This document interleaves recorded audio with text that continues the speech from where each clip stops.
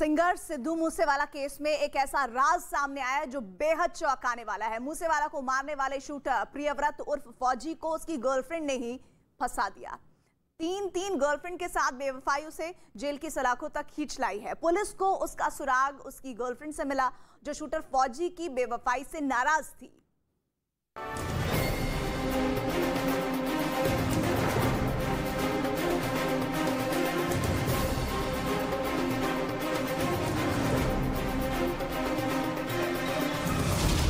मूसेवाला के शूटर को गर्लफ्रेंड ने पकड़वाया।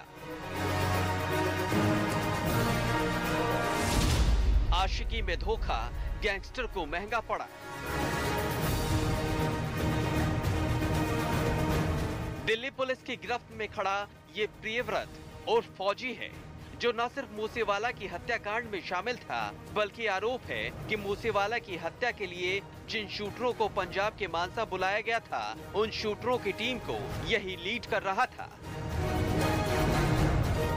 हत्याकांड के बाद ये पूरे तीन हफ़्ते तक जाँच एजेंसियों को चकमा देकर इधर उधर भागता रहा, लेकिन अपनी गर्लफ्रेंड के साथ बेवफाई इसे सलाखों तक खींच लाई।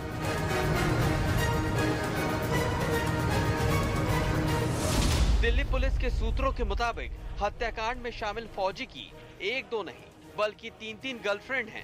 तीसरी गर्लफ्रेंड को ये लगता था कि वो फौजी की इकलौती गर्लफ्रेंड है, लेकिन जैसे ही इस तीसरी गर्लफ्रेंड को फौजी की दूसरी गर्लफ्रेंड के बारे में पता चला तो वो आग बबूला हो गई और गुस्से में उसने दिल्ली पुलिस के सामने फौजी का कच्चा चिट्ठा खोल दिया। दिल्ली पुलिस के सूत्रों के मुताबिक, फौजी की तीसरी गर्लफ्रेंड अपने एक रिश्तेदार के साथ दिल्ली पुलिस के पास पहुँची और इसके बाद उसने फौजी के सारे राज पुलिस के सामने उगल दिए। उसने ये दावा किया कि मूसेवाला हत्याकांड के बाद से उसकी फौजी से लगातार बात हो रही है, लेकिन वो फौजी से इसलिए नाराज़ है क्योंकि फौजी ने उसे प्यार में धोखा दिया और फौजी को सबक सिखाने के लिए ही वो दिल्ली पुलिस के पास पहुँची थी।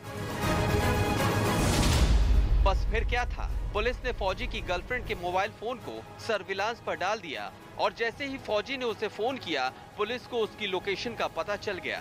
फ़ोन के सर्विलांस में फौजी की लोकेशन गुजरात की किसी जगह पर पता लगी। इसके बाद दिल्ली पुलिस की एक टीम फ़ौरन गुजरात के लिए रवाना हो गई और गुजरात के मुंद्रा पोर्ट से फौजी और उसके दो साथियों को गिरफ़्तार कर लिया। मूसेवाला की हत्या करने के बाद फौजी अपने दो साथियों के साथ गुजरात भाग गया था। पुलिस लगातार शूटर्स की तलाश कर रही थी, लेकिन फौजी अब तक पुलिस से कोसों दूर था। लेकिन फौजी की गर्लफ्रेंड ने पुलिस का काम आसान कर दिया। फौजी की तीसरी गर्लफ्रेंड के ज़रिए ही पुलिस की टीम फौजी तक पहुँच गई, या यूँ कहें कि फौजी की गर्लफ्रेंड ने ही उसे पकड़वा दिया। हालाँकि बताया जा रहा है कि लॉरेंस बिश्नोई गैंग में किसी भी शूटर की महिला दोस्त नहीं है। गैंग में सिर्फ़ एक फौजी ही था, जिसकी एक नहीं तीन तीन गर्लफ्रेंड थी। यही नहीं, दिल्ली पुलिस का तो दावा है कि फौजी अपनी तीनों गर्लफ्रेंड के साथ लगातार संपर्क में रहता था।